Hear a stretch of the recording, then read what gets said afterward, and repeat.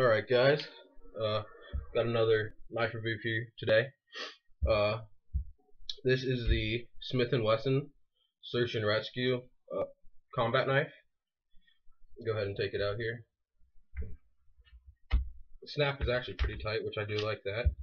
Uh, this is the, if you guys can see that, the CK SUR2. Uh, there are several different types of uh, search and rescue boot knives or combat knives. Uh, this is a little bit bigger than a boot knife, so I'm going to go ahead and classify it as a combat knife.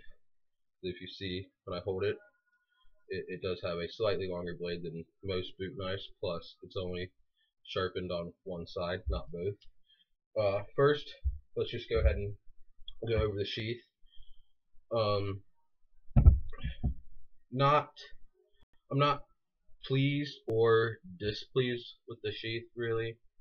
Um, I mean it looks cool, but it's the belt the belt sheath or, or the belt loop I mean, if you can see, uh, is one it's small, which I mean I get I guess that could be nice for sometimes it, it'll stay tight to your waist, but I like to have a little bit of room sometimes because I mean it, it's annoying when having to get it on and off. But it is just a Velcro loop, which uh, if it was a snap and like I've seen some sheets that are snap and Velcro, which normally work better. But uh, I mean, if you're like this is going in my survival kit. So I mean, I'm going to be out in the in the woods a lot, and I mean, this will fill up with debris, and eventually this will probably just stop sticking. So I mean, you won't be even able to wear it on your on yourself anymore. I mean, it's going to be useless after it gets full up. And I mean, it's it's Velcro. It's it's going to eventually. So that that's one thing I I don't really like too much about the belt loop. But I mean, for now, until I mean, it'll work for now.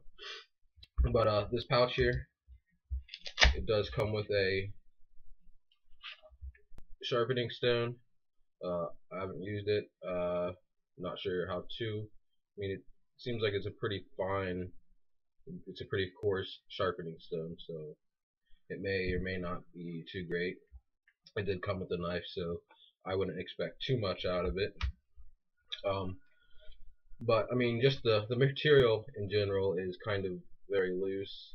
There there is a plastic insert here, which makes it a, a little bit more reinforced. It's it's not as floppy, uh, but still, it's it's it's it's very it seems it's it actually seems to be a pretty cheap nylon. I mean, it's not even a good nylon. But, I mean, there's not much good nylon, but there's there's still better nylon than this, and this is. I mean, just for something that came out of a Smith and Wesson, you would kind of expect a little bit more uh, quality control. I mean, there in previous models they had better sheaths. Actually, they they really cut back on the quality of their sheath now.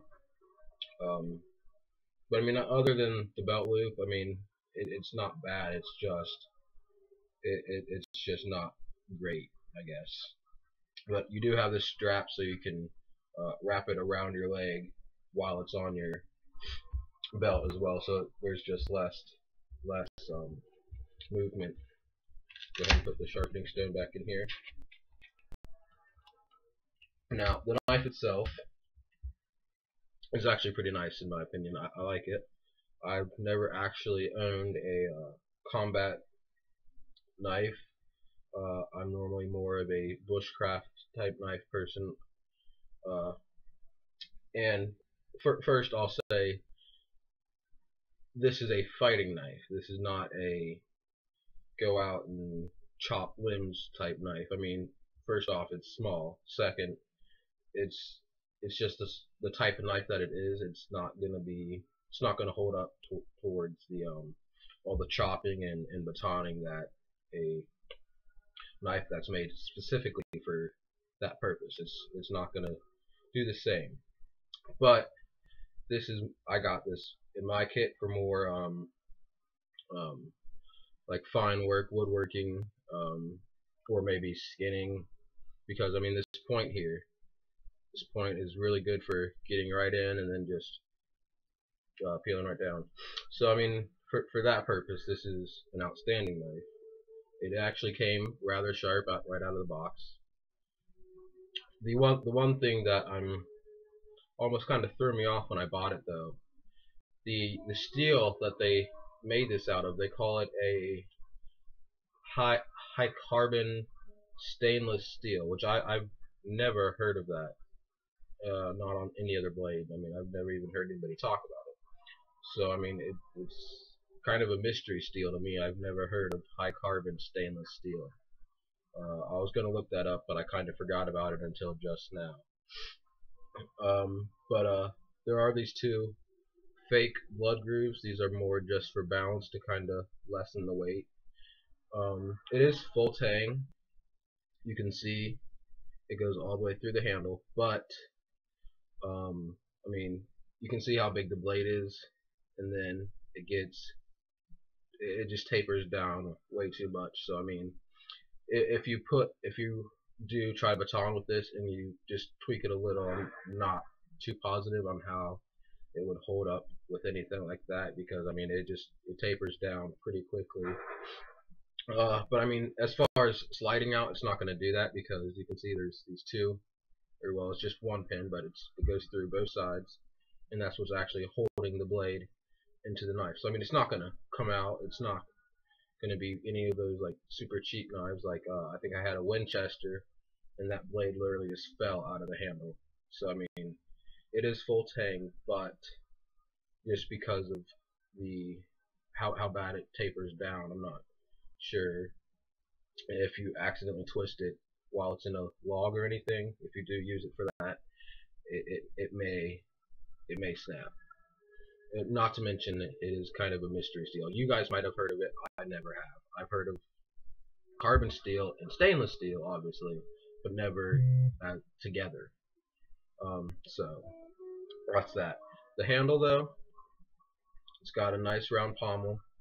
Uh, I do like the guard. It's pretty comfortable. Uh, like for like I said, this is gonna be for finer work. So I mean, I can rest my thumb right here and get pretty good uh, control of the blade. Uh, it is a very nice rubberized. Feels really it's solid, but it's it's not like hard. You know, um, it, it's it's actually a very nice handle. I do like that. Uh, and I mean, it, it's decently grippy. I, I can't see this slipping out unless it was absolutely soaked. Um, because the rubberized, it does seem to kind of I mean, even when you're just sweat, you're like if your hand's sweating, it does seem to give a little bit if it if it's too wet. But um, I still haven't actually taken this out yet. Uh, I've only done a little bit with it. This is more of just a first impression review. I will have an actual uh, demo of me using it for what I would use, and I, I may, if it if it surprises me, I may try batoning with it, maybe. Um, can't really think of anything else to add into this review. I think I covered everything. Um, but yeah, it's a pretty nice knife. It's it's well balanced. If I can find the sweet spot. Uh, I found it earlier, but I mean it's it's like right around here. So I I'm gonna assume this is where it starts to taper down. It stays relatively thick right here and then gets thinner. I I don't know. I'm just assuming. Um, but everything feels solid. It's just we have to see how it holds up when it's actually being used. So, uh, if you guys are interested in this, this is about this is 30 bucks. I got this from Bass Pro Shops. Uh, you can find it on Amazon for cheaper, but I didn't feel like waiting for shipping. Uh, so, plus with shipping is probably going to be $30. So I mean around the same price, no matter where you go. Um, but that, that, that, I think that's it for this review, guys. Um, if you're interested in this, whether you're collecting or planning on actually using it, I'd say it's a decent purchase. Like I said, this snap is pretty hard. There we go.